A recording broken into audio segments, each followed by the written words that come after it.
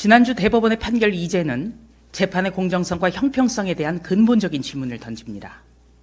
문재인 정부의 청와대 특별감찰반원으로 조국 당시 민정수석의 감찰 무마 의혹 등을 공익 신고한 김태우 강서구청장은 구청장직을 상실했습니다. 대법원은 김선교 의원에 대해서도 회계 책임자를 문제 삼아 의원직을 상실토록 했습니다. 주목할 점은 재판 기간입니다. 대법원은 2심 선고 후 각각 9개월, 3개월 만에 확정했지만 조국 사건으로 2심에서 의원직 상실형을 선고받은 최강욱 의원에 대해선 1년째 판결을 미루고 있습니다.